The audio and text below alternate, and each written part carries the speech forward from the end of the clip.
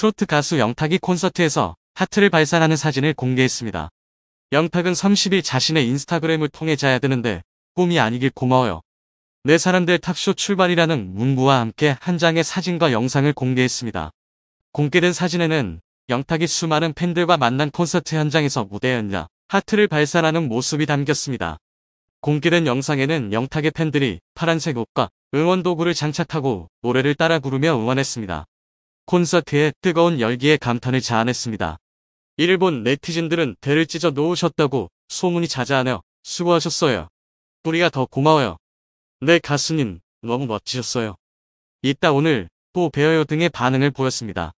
한편 영탁은 7월 29일부터 31일까지 2022 영탁 단독 콘서트 탑쇼를 서울에서 개최 중입니다. 뉴스 인스타 내용을 유익하게 보셨다면 좋아요와 구독 부탁드립니다.